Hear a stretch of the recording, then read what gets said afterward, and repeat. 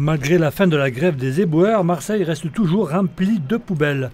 L'association Un déchet par jour était ce vendredi sur la Canebière. Son but Empêcher que ces déchets ne se retrouvent dans le vieux port. Suite à la grève des éboueurs qui est arrêtée actuellement, euh, on est sur une opération de ramasser un maximum de déchets volatiles en fait suite euh, euh, aux poubelles trop ouvertes comme vous pouvez voir derrière moi. Et l'idée c'est de les ramasser, de les mettre dans des sacs poubelles fermés et de les mettre à proximité d'une poubelle ou dans une poubelle.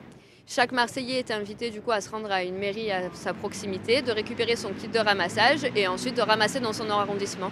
Le but est de réduire en fait la période de ramassage qui est estimée à 8 jours voire un mois, sachant qu'il y a à peu près 3000 tonnes de déchets qui sont dans les rues et euh, du coup de cleaner la ville de Marseille le plus rapidement possible pour éviter un écocide puisque tous les déchets en fait, qui sont sur la partie terrestre finissent dans la mer, notamment ici puisque nous sommes sur la Canebière et en bas de la Canebière il y a le vieux port. Les déchets sont très mal gérés dans toutes les villes du monde entier.